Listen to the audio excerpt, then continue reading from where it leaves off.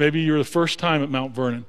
But at the end of the service today, I am going to invite you to make a decision about who Jesus is, just like these two men on that Emmaus Road had to that day. Because you see, the Savior's coming after us, and He's coming after you and me. How many of you have made that decision to receive Christ today? You know who He is. You've made that decision. You've come to that time in your life.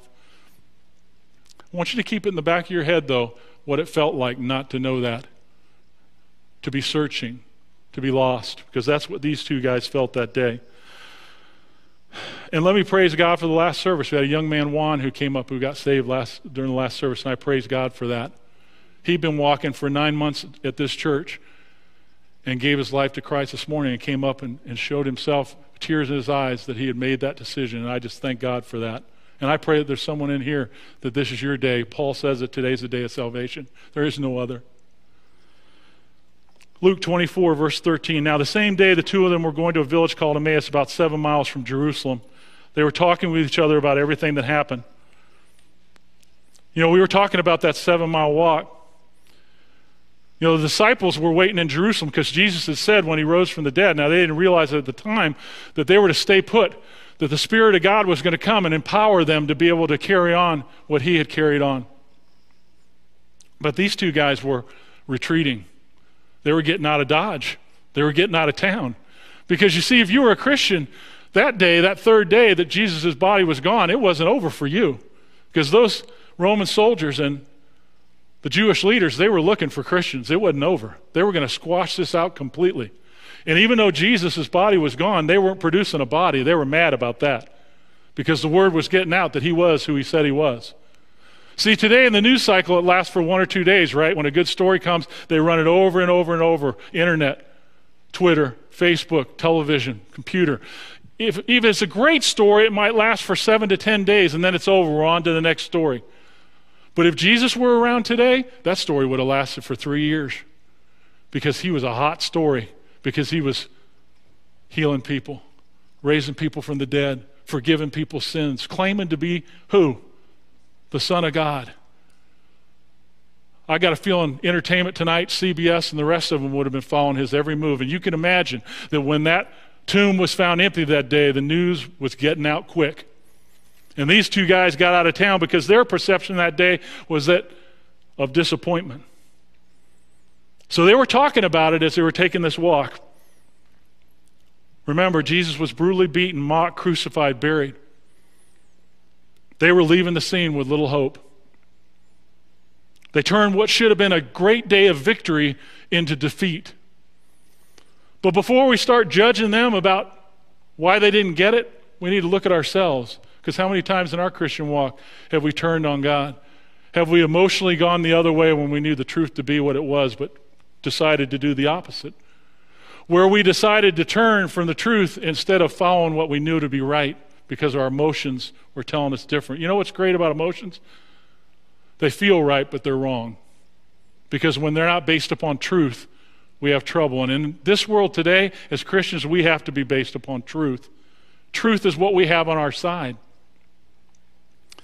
So, in their human perspective, they were getting out. They, were, they, were, they, they could have run, for all we know, but they were walking down that road with no real answers, no peace lost and confused with no hope. See, we're all on a journey for truth. We're all on a journey for purpose in life. And see, as Christians, we need to realize that we're surrounded by coworkers, friends, family that are on this mission to find purpose for their life. And they're filling it up in all sorts of different ways because everybody has a heart shaped void, and it can be filled up a number of ways through pleasure, fame, fortune, money, sex, drugs, standing, whatever it is. But we all know that the only thing that's going to take up that hole and that loss that people feel is Jesus Christ. And we have that answer. The gospel is the most powerful message in the world. Don't forget it. And this day, these two guys were going to find that out. I have four points today that I want you to remember. The first one is sometimes our own selfish plans and strategies keep us from recognizing who Jesus is in our life. Isn't that true about pride, right? It really is at the crux of every one of our sins thinking that we know it all, thinking that we can do it ourselves, thinking that even with Christ we got it under control. Well, these two guys that day, they didn't have it under control. They didn't have a feeling for who Christ was. They had forgotten what they knew, and they were running from the scene. Verse 15. As they talked and discussed these things with each other, Jesus himself came up and walked along with them, but they were kept from recognizing him. All right, picture this, right? We're taking a walk, about a two hour walk to Seven Devils, just you and a friend.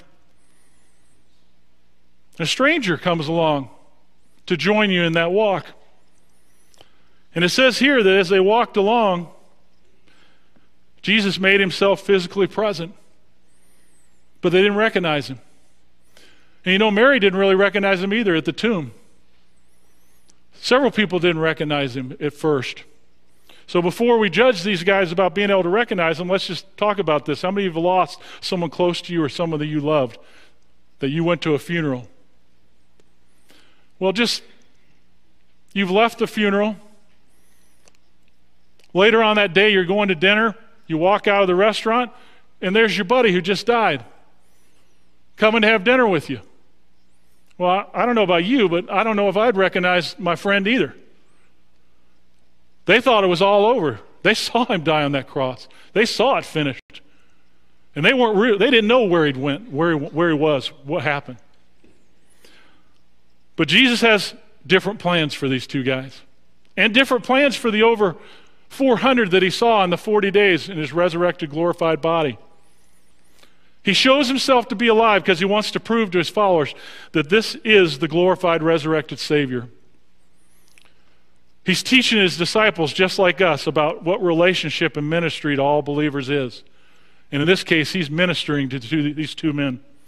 He's showing his commitment, his availability.